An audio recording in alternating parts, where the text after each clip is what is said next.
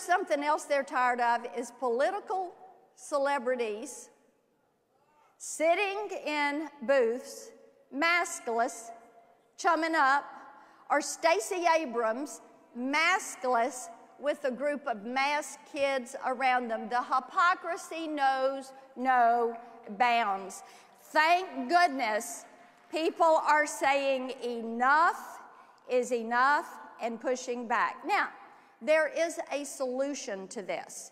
It is called Unmask Our Kids and Get the Teachers' Unions Out of the Classroom.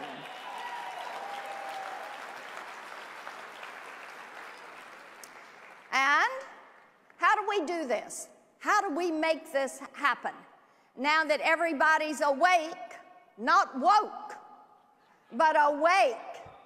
So, how do we do this? First of all, we have to spread the word that we as conservatives believe every child, every child in this country should have their shot at the American dream. Every child should have opportunity to achieve their dream.